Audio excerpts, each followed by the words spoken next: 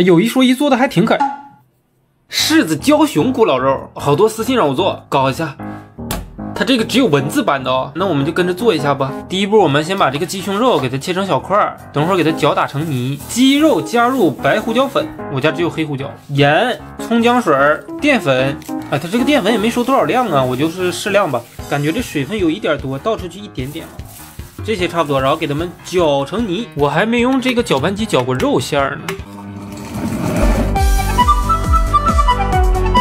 哇哦，真的搅成肉馅了，鸡胸肉泥。哎，我有个想法，鸡胸肉不是不好吃吗？那搅成这种泥，煮个鸡胸肉丸，是不是能好吃一点？这口感，给这个鸡胸泥给它盛出来，然后我们再用竹炭粉做一个黑色小面团儿啊，到时候用来做这个柿子焦熊的眼睛啊，什么鼻子、嘴。这柿子焦熊是个什么熊？我怎么之前都没听过？我还特意去查了一下啊。OK。位子黑珍珠，每次用竹炭粉就得整一手啊，贼难洗这玩意儿。OK，我们来捏这个小熊模样。我怎么一上来就想整个大的呢？我根本不想捏非常多小的。这个肉泥水分有点多呀，应该多放点淀粉可以。这个鸡胸肉泥好软呐，感觉肯定比那个水煮鸡胸肉好吃。小熊头部加入小熊身体，熊耳。加入熊耳，然后是四个小熊角，挺简单的呀。这道菜，这道菜没什么难度啊，家人们，说实话。但是对于你这个手法、耐心以及你的这个审美有一定要求。我这做这是猪还是熊啊？一眼像猪。我最近不是刚拔智齿吗？别人拔智齿不是都瘦吗？我怎么感觉我还有点胖了呢？就别人牙疼吧，人不吃东西，我是啥呢？我饿了我也牙疼，但是我先造俩止痛片儿。然后酷酷炫外卖，你这能瘦就怪了。我感觉这个肉泥真的有点太稀了，这粘手。你长这四个角干什么？长两个角不行吗？我这还得揉四个小球。OK，两个小猪先出来了，再做一个吧。正好我们这个肉泥啊也没多少，最后整个大的完事儿了。我是在做小熊还是三只小猪啊？我在想，正好三只。OK，完美。三只，OK，我们来做最后一步装点吧。小黑脚丫子，把我们这个黑色面团啊给粘上去。它这个柿子胶熊啊，它有个特点就是鼻子特别大，还有黑色小嘴儿也给它加上吧。这什么？这什么东西？为什么？为什么我这个熊这么猥琐呀？我跟别人这一比，是我的眼睛太大了？不对，它眼睛还是大。这个什么柿子胶熊，它必须眼睛小一点，必须是那种跟芝麻大小似的。你给我下来，重新给你粘一下，这样的。我怎么感觉没什么区别呢？这个就是我之前说到了啊，它的做法不难，但是非常考验你这个审美。完了，坏了，我的，为什么都是歪嘴儿啊？啊，完了，它有点像人了，它一像人，它就不好看。没事，最后一个我给它好好整。我感觉我已经参透了它的这个设计理念，就是眼睛要小，然后鼻子它必须是要什么呢？紧贴住它的眼睛，必须得细细的嘴巴，多给它搓一搓。哦，真吓人。就这样吧，喷点喷点油啊，给你们刷上油。不是这张脸也太吓人了，我感觉今天晚上做梦我都得梦着他。烤箱二百度烤个二十分钟，呃，他有可能他们烤完就好看了啊。拜拜拜拜，See you later。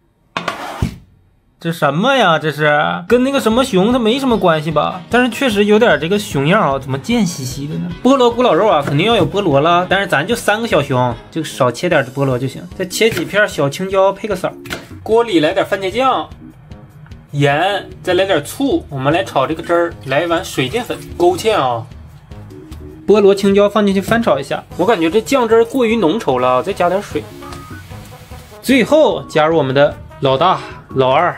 哎呦，老三，老三脑袋掉了，这可怎么办？我这锅瞬间变得诡异起来了，块儿太大了，支撑不住，不像这俩小玩意儿，它俩小就能粘得上，稍微热一热就可以出炉了。这个小熊它都是熟的，给他们裹点汤汁就完事。没事，老三没事啊。哎，鼻子，老三鼻子，嗯，鼻子。哎呀，鼻子也没了，就没事，出锅我给你接上。OK，我们来摆个盘吧。老大先出来了，脸上有点多了。老二也安全了，老二也安全了。就是这个老三呢，他他他不省心，给他脑袋这块垫颗菠萝，要不然落枕了。这老三怎么像小丑似的呢？鼻子，我找找鼻子，我在锅里头找着你的鼻子了，你的鼻子在这儿呢。OK，你也活了，小熊古老肉，是不是看起来挺可爱的？啊，有一说一，做的还挺可爱。这个可能是你们一家子的命运吧，嗯。还挺可爱的啊！看，你看这小样，尝一口吧。嗯，真不愧是鸡胸肉啊，就打成鸡胸肉泥了，依然能感觉到很柴。来块小菠萝吧。嗯，我怎么感觉水果加热这么恶心呢？当然不排除有些比较适合的。哎，有了，把老二跟老三的这个身体互换一下。哎呀，早知道我不吃老二的头了，我把老二的头换成这个大身子，看看什么效果。哎，这块不是还有个小头吗？哎，给他们换一下子，更可爱了，更可爱了。大头儿子，小头爸爸，不建议你们在家做啊，因为这个口味说实话不不太好吃。鸡胸肉，但是你们要是不听话，非想做呢，我建议你们做这个小熊，别做这种大的，大的它这个头跟身子容易分离。我这个鸡胸肉真难咽呐。OK，本期的小熊料理就这样了。如果喜欢本期视频，别忘了点赞、关注，O 不 OK？柠檬巴巴鲁亚，这名跟咒语似的，搞一下。先来泡一下吉利丁片，十克，正好两片。柠檬巴巴鲁亚，那肯定得有柠檬啊。这个柠檬先加点盐，给它搓洗一下，给它洗干净。削柠檬皮，我们就用这个削皮刀就行。但是我们只要这个黄色的皮啊，白色的不要。白色的它是苦的。我之前学面包的时候，每次烤面包之前，我都喜欢削一点，这个味儿很好闻。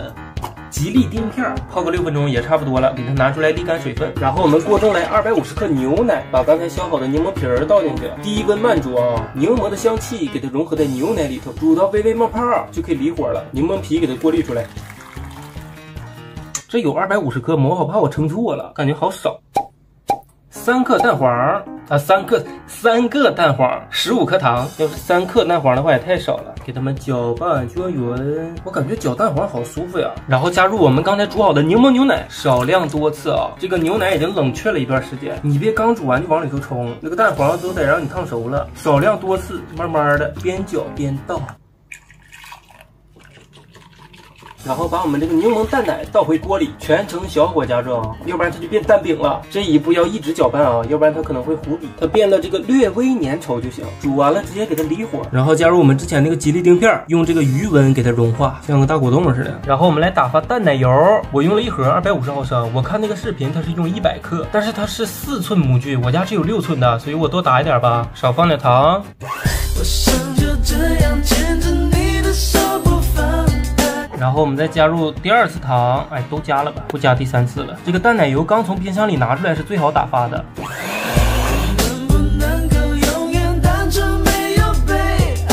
OK，搅拌到这样应该差不多了。最近天气太热了，它不好打发。然后把我们那个淡奶液倒进来，怎么感觉有点不香的预感呢？我这个淡奶液是不是太稀了呀？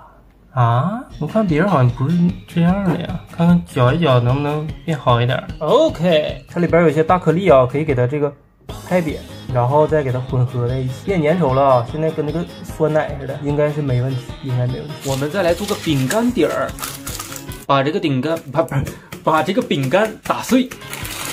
倒在我的模具里，我这个是六寸的，在模具里头再给它倒一下吧，加上二十克融化的黄油，给它拿去冷藏个十分钟。哎，不够，我感觉二十克不够。我看别人都用的是奥利奥，我买的是这个粗粮饼干，燕麦的，里边还有这个玉米粒儿，我喜欢吃这种。嗯，就这种很香，越嚼越香。你可以用你喜欢的饼干。OK，最后一步，倒入我们的这个叫什么玩意儿？糊糊。喂，拉丝儿了。哎。正好，你看没看着这个量？哦呦，这个量是正好，我是没想到的。震出气泡。哎呦，但是我这个表面好不规整啊，好丑，这怎么办？就这样吧，就这样吧。我怎么可能这样呢？六十克清水，十克糖，来点柠檬碎，再加入热水融化的吉利丁片啊，差不多三克，给它们搅和融化在一起。我们做个柠檬淋面，必须是这个追求完美。OK，给它淋在上边。哎呦，我的，嗯，我不淋了，不淋了，不淋了，不淋了。哎呦，不淋了，不淋。哎呦，会不会是我这个做的太稀了呀？啊，那就这样拿去冷藏五个小时。Later。OK，家人们，冷藏好了，来给它脱个膜。我看网上他要拿这个吹风机啊，给它四周吹一吹，它就好脱了。果然好脱了，很顺滑。喂，哇。脱下来了，呃，边上它有一点这个不光滑，但是我觉得很棒。喂，好像是成了，说是，但是它表面确实不光滑。我们给它点缀一下，给它点缀一下柠檬片儿。嘿，哎呀，家里也没有薄荷叶啊，但是有生菜，有小生菜，哎，挺不错。挺不错，挺不错，挺不错，像个小蛋糕似的。话不多说，我们来尝一下，我给它切一下。哇，很远，很远乎。哎，不要这个盘了，底下有一个小托盘啊，这个盘不好切。嚯！喂，底下是有这个巧克力底儿的啊，饼干啊，饼干上哪来的巧克力？它这底下还有个底儿啊，不是直接接触桌子的。先尝一下我这个饼干底儿怎么样？我感觉这个饼干很好吃。嗯，这个饼干也一股柠檬味儿了。哇，柠檬饼干很怪，怪好吃的。直接来一口这个。巴布鲁亚，嗯，很轻盈，我感觉它应该吃起来不会这么轻盈，但是我做这个非常轻盈，这是为什么呢？因为我奶油打多了，我奶油打多了。我不是一开始说我看那个教程是四寸的，但是我是六寸的嘛，所以我奶油打的很多，但是我奶油打多了，前面那个蛋黄糊我做少了，就导致它整体这个奶油占比是很高的，它不匹配了。这玩意儿吃起来有点像柠檬豆腐脑，这个做法确实很简单，它用不到烤箱，唯一的难点应该就是那个冲蛋液那块，温度掌握。不好，容易把那个蛋黄整熟了。如果你是个小白的话，那可能打那个奶油也挺难的，因为最近天很热，容易打不起来。我一开始在家做甜品，这个奶油就老打不好。当然，我也不知道这次奶油打的怎么样，但是反正做出来了。柠檬巴布洛亚还不错。如果喜欢本期视频，不要忘了点赞、关注，O 不 OK？